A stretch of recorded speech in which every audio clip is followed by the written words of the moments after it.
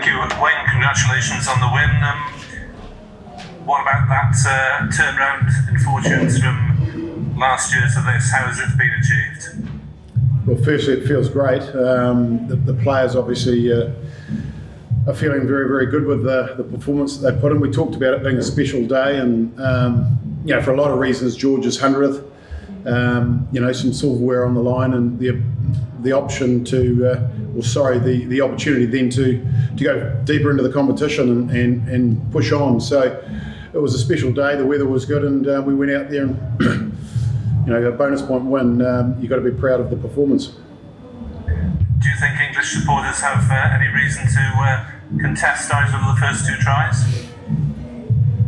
Well, I thought firstly from a Welsh point of view, the um, crossfield kick was a pinpoint, good skill. Um, Judgy did his job by hanging out there to give us the option, and uh, I thought it was well taken once the referee said time on. So, look, if it was against us, we'd be having a look at ourselves and why we didn't react quicker.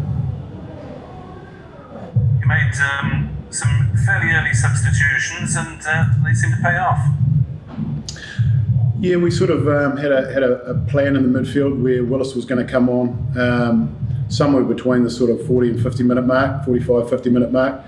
Um, and you know, Jonathan, it was his first game for a while, and he was pretty solid, we thought, and uh, it was time to to bring Willis in to see if we could change things up a little bit. Um, but I thought all the substitutions that came on did a, a, a fairly good job, obviously, in, in a pressure situation for most of them when they came on quite a surreal atmosphere to collect the Triple Crown, though, at the end, wasn't it? Yeah, the players were joking about doing a lap for the supporters, but um, I'm sure there are uh, everybody in their homes and wherever they're watching the game would, uh, would be celebrating that one.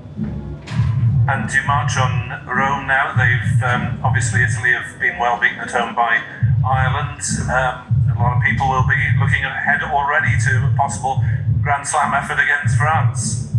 Yeah, we've spoken briefly already about uh, the importance of, of the next game, and we'd do a lot of very good work if um, if we didn't focus on that game and that game alone, and uh, make sure that we uh, go out there and put in another solid performance, and hopefully get the points there. In which case, then yeah, the last weekend takes care of itself.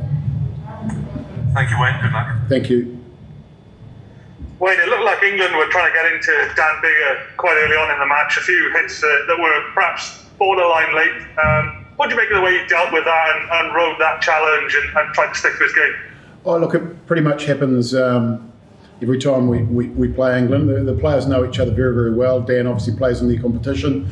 You know, a 10 in any team is, is obviously one of your, your players that um, have to marshal the troops and implement a game plan. And um, Dan, in the past, I suppose, they try to get under his skin a little bit, but look, he's um, been, around long enough to deal with that, and I thought he dealt with it well. What do you make Callum Sheedy? I mean, he's, he's come on at big moments in the game in, in the last two two outings for you, and he, you know, kicked those three penalties after England drew level. It really gave you some breathing space. Oh, look, I thought he was fantastic. Um, you know, after missing a couple out in, in um, Edinburgh, uh, to come on in, in, that situation, as you say, um, a very tight game at that stage, and, and they weren't easy kicks, and all three of them he hit very, very well. And uh, I'm, look, I'm just pleased for him, and, and I thought uh, his general play was solid as well. So, um, yeah, as I said earlier, I think all the boys coming on added something to the game. And just finally from you, how is how has George North been this week? What have you made of the way that he's managed what what was a, a really big occasion for him personally? Look, I think he's he's handled himself uh, as we as we knew George would. He's taken it in his stride. He's been very humble. Um, we had a, a, little video for him last night in the team room, and um, that was very touching from family and, and other greats of the game, um, passing on their congratulations. Uh, and I thought again, George in the number 13 jersey put in a, a really good um, display, and he's feeling comfortable in that position. So I think um, we have a couple of options for him going forward. Cheers, Wayne. Thank you. Hi Wayne, Will here. How's it going? Good, thank you, Will. Um, talk us through your reactions at full time. You looked uh, unbelievably pleased. Yeah, we were pretty pumped up when um, I think Callum kicked his third penalty and it took us out two scores. Um, and then to, to get the bonus point at the end, you know, obviously very, very happy. And, and happy for the players because they've put in so much work. Um, they've worked very, very hard. And you know, we get to see what's going on behind the scenes and in terms of the camaraderie within the group. And I think that's shown for everybody watching that, um, you know, it would have been, a lot of people may have thought that, um, you know, 24 all England were coming strong at us. And, but our guys found another gear again and um, we're very pleased for that and pleased for the results so that um, we can keep building on that performance.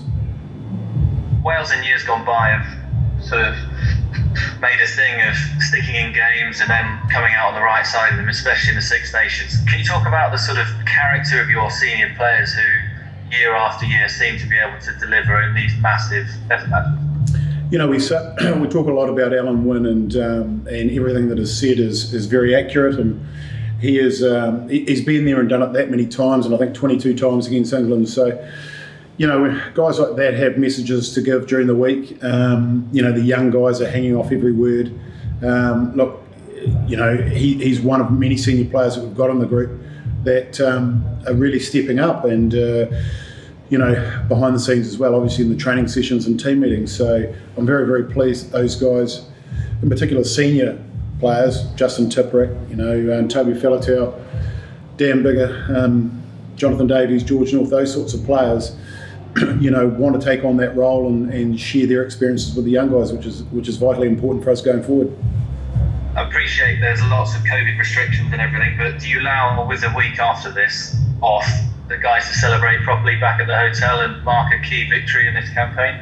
No, no, we won't be um, celebrating the old-fashioned way, unfortunately, um, because I think that's a great part of our sport. Where uh, you know, you, you work so hard and it, it's a brutal contest these days. The collisions are so big and, you know, to, to then go and be able to sit down and just have a, a cold beer or a glass of wine with your mates is uh, it's important. But um, certainly uh, they'll have a couple now, but um, then it'll be uh, disbanding with them a couple of days off and they'll head home. Uh, but they're back in again next week, um, ready to do some more hard work. Just lastly, um, how do you keep a lid on the sort of expectations and the nation's going to kind of go into the overdrive with more to come? I mean, how are you going to keep a lid on all that expectation? Well, I think um, because you know we haven't played the house down over 80 minutes yet, I think um, everybody can see that we're building and improving. Uh, but we've well and truly got our feet on the ground, and the players have talked about that already in the changing room around. Uh, you know, the next game is the most important game, obviously, because uh, it would undo all this good work. So look, we'll be working really, really hard, and we'll be looking at the Italians and doing our normal um, reviewing and, and, of our performance, then previewing them, and we're going to make sure we put out a side that um, can not only uh, get a result but get a good performance, which is ultimately what we're after. Uh, I know it's not about you, but how do you feel personally in terms of relief, satisfaction? It, it was a difficult autumn, wasn't it? Some fans were calling for you to go? I mean, how satisfying is this? How good a feeling is this to have won three out of three and beaten England?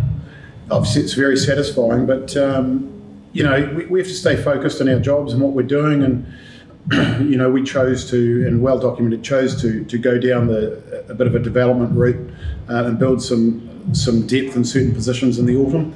It was a free hit, really, from our point of view, and so long as our board's across what we're doing, and you know the public will, will get on board once we, we start getting results. We know that.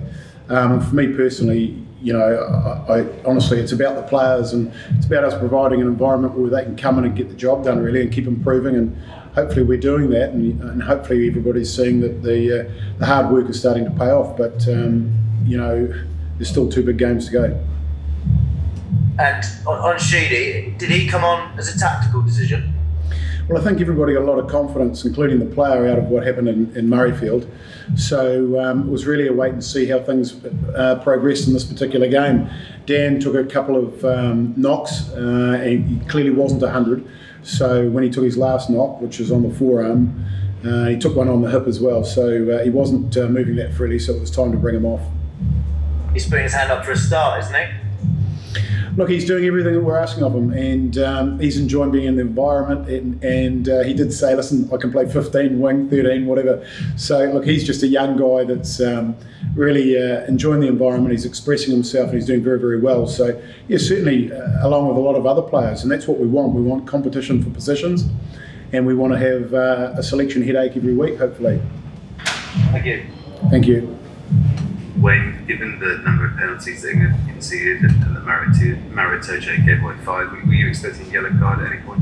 Yes, um, and probably before half time on the fourth one, but. Um, you know, um, at the end of the day, uh, the referees probably didn't think they were all in the same area, maybe. Um, but look, that, that is a lot of penalties for one player, and um, he's pushing the boundaries clearly, but uh, he's a world class player. Sometimes world class players get lot, uh, away with a little bit more than others.